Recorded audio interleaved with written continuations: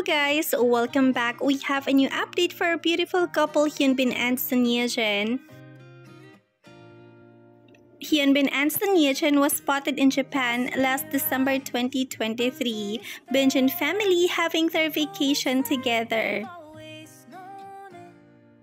And surely baby Alkong was with them as well. Indeed, this is such a beautiful update from our couple Hyunbin and Son Ye-jin. Here are some other photos uploaded during their visit in Japan. And this is Hyunbin when in Japan, he bought baby clothes for baby Alkong.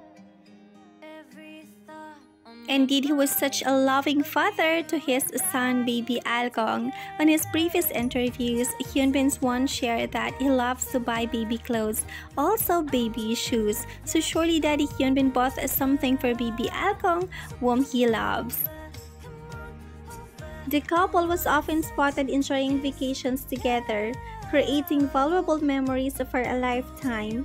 Alkong, who is already one year old, shares a special bond with his mother. Despite their busy schedules, Son Ye-jin and Hyunbin ensure a carve-out quality time for their child.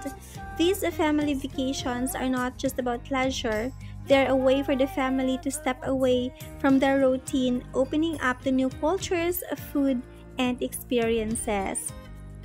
In a world where the balance between work and personal life is increasingly challenging, Son approach to family time is both refreshing and inspiring.